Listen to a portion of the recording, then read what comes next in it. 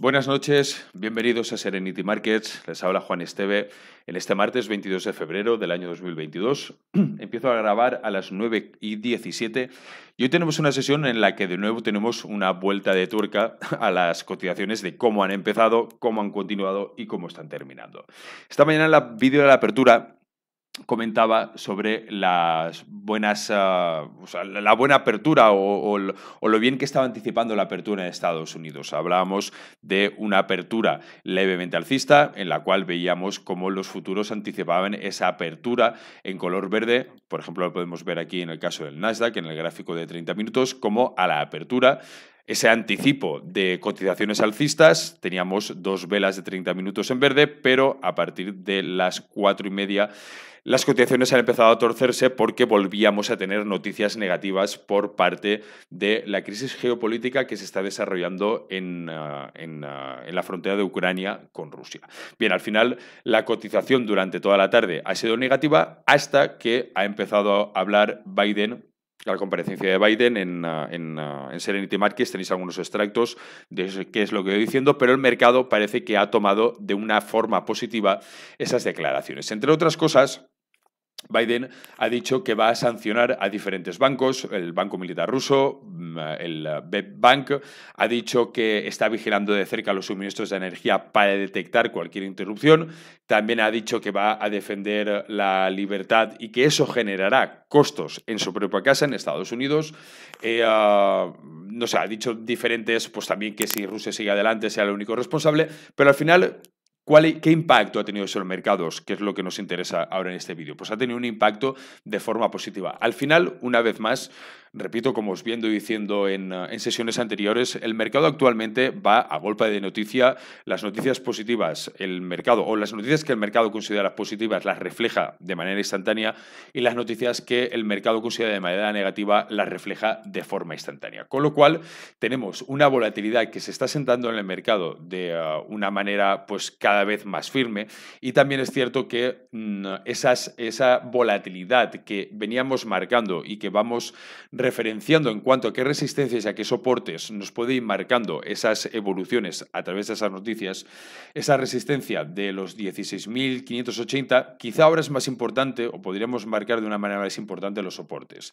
El caso de soporte, esta mañana hablábamos de, de los precios redondos, ya venía hablando mucho atrás de, esos precios redondos, pero los 14.000 hablábamos de ese punto clave. Fijaros cómo esa apertura o, esa apertura que anticipaba, anticipaba también una referencia clara en torno a los 14.000 y esa recuperación va otra vez de camino de intentar cerrar en los 14.000. Sería una buena señal porque ese soporte continuaríamos quizá dándolo por válido al cierre de la sesión. Por lo tanto, tenemos una referencia, yo creo que tenemos una referencia bastante clara en cuanto a unos precios al corto plazo. Si nos vamos quizá al más largo plazo, y aquí podríamos ver el gráfico a un día del Standard Poor's, sí que es cierto que esas referencias a, a, un día vista y a unos movimientos también mucho más cercanos en el tiempo, refiriéndonos a la volatilidad que está generando la crisis en Ucrania, nos marcan unas resistencias y unos soportes bastante más estrechos. Quizá una resistencia en los 4.592, 4.590, incluso podríamos marcar 4.600 buscando unos números redondos, quizá un poquito más alejados, y un soporte en torno a los 4.300. Sí que es cierto, vuelvo a repetir, que esa volatilidad que impera en el mercado va muy acompañada de las noticias, pero esas referencias que nos pueden dar de una manera cercana, tanto resistencias como soportes, pueden ser una buena, repito, referencia, no una exactitud en cuanto a los movimientos, pero es una referencia en qué rangos puede estar moviéndose. En el caso de las materias primas, volvemos a lo mismo. En el caso del Brent, hemos visto cómo durante la sesión de hoy hemos marcado máximos a primera hora en torno a los 99 dólares, acercándose mucho a esa cifra que llevamos o, que llevo comentando de los 100 dólares, que son las estimaciones que diferentes casas de análisis van marcando, incluso si esa tensión desembocara en, ah, en, una invasión de Ucrania hay diferentes casas de análisis que hablan de precios en torno a los 120. Sí que es cierto que la cotización del, petróleo conforme las, ah, ah, inquietudes en el mercado de renta variable han, han ido eh, subsanándose, en las cotizaciones de las materias primas, en este caso el petróleo, han ido descendiendo. Y por otra parte, tendríamos también el oro, aquí lo tengo, con unos máximos que también ha tocado a primera hora de la sesión, marcando máximos en torno a los 1914, que luego han ido desinflándose y llevando el precio actualmente por debajo de los 1.900 dólares. Aquí también como referencia, si recordáis en la semana anterior y semanas anteriores hablábamos de una referencia clara y que sería un punto importante los 1.800. Ahora el precio que está intentando pelear son los 1.900. Aquí hablando también o, hablar también de esa descorrelación que también veo comentando en sesiones anteriores de la renta variable respecto a los valores refugios. un tema que... Ah, que he tratado hoy en mi Twitter. Aquí tenéis el Twitter por si queréis leer, el, leer el hilo de la manera más profunda, no es muy largo, muy cortito. Es cómo ha evolucionado las bolsas después de diferentes hechos relevantes. En este gráfico podéis ver es un, gráfico de, uh, del Standard Poor's, el cual vemos la evolución desde principios de uh, desde 1900 hasta más o menos la fecha actual. Y cómo han evolucionado las bolsas tras diferentes hechos relevantes. Primera Guerra Mundial, Gran Depresión, Segunda Guerra Mundial, la crisis del petróleo, Black Monday, eh, uh, la burbuja de las .com, la crisis financiera del año 2008 ¿Por qué pongo este gráfico? Porque hay mucha gente que pregunta o se pregunta qué, es, qué va a ocurrir si existe ese conflicto armado, si esa crisis geopolítica va a más. Bien, lo que sabemos, mirando hechos históricos, mirando para atrás, para adelante, desgraciadamente no tengo una bola de cristal que os pueda decir el futuro, pero mirando para atrás y mirando los hechos históricos, sí que sabemos que, mira, voy a mostraros otra imagen que he puesto también en el hilo. Esto luego, lo que os digo, ¿eh? si queréis acercaros y verla un poquito con más detalle, pues os acercáis a mi Twitter, que lo tenéis aquí, y lo podéis ver perfectamente. ¿Cómo se ha comportado el mercado tras, esas, ah, tras esos hechos ah, relevantes, ¿no? tras esa crisis?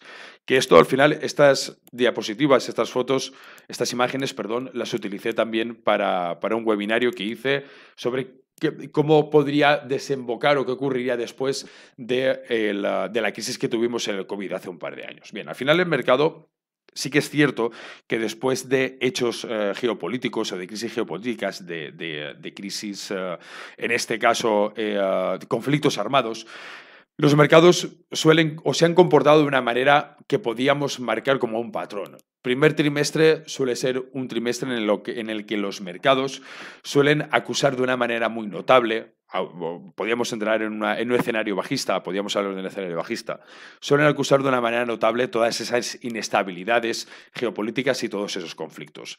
La segunda fase podríamos hablar también de una fase de, eh, estabilización, en la que el mercado tiende o, o ha tendido a estabilizar esas caídas e incluso a recuperar cierta parte de esas caídas que ha tenido en, el en, la primera fase, en el primer trimestre. Y a continuación, en la gran mayoría de casos, no solamente ha recuperado las pérdidas que ha tenido en un primer momento, sino que ha incluso entrado en una fase de crecimiento mucho más grande que la que tenía anteriormente. Por lo tanto, mirando para atrás, repito, no, no tengo una, desgraciadamente, una bola de cristal, pero mirando para atrás sí que podemos estudiar qué es lo que ha ocurrido para intentar ver qué es lo que puede ocurrir. Repito, estoy, estoy hablando de un futurible, estoy hablando de, ah, de qué es lo que puede ocurrir intentar adelantar, adelantarme, no, pero estudiando el pasado para ver cómo puede comportarse un hecho que si ocurre o no ocurre, pues bueno, por lo menos tener esa referencia pasada, creo que es interesante conocerla. Y os lo comento porque es algo que estoy escuchando mucho, que es gente que está preguntándome qué, puede ocurrir, qué puede pasar. Bueno, al corto plazo es quizá, como, digo, como os digo, bastante más complicado de ver cuál puede ser la situación, porque, repito, al final ahora no podemos tener en cuenta unas, ah, no podemos tener en cuenta unos, unas referencias muy claras, porque, como digo, el mercado va muy a golpe de noticia. Pero si miramos para atrás, sí que podemos tener una referencia más o menos clara de cuál pueden ser los movimientos de los mercados financieros a un plazo de tiempo quizá un poquito más prolongado. Hablábamos de, o hablaba de trimestres, semestres o incluso un año. Bueno, pues nada, eso es todo por hoy. Os, os, dejo ya con los mercados recuperándose. El Nasdaq está prácticamente a punto de ponerse en verde y nos vemos en próximos vídeos. Cuidaros, pasad buenas noches. Hasta luego.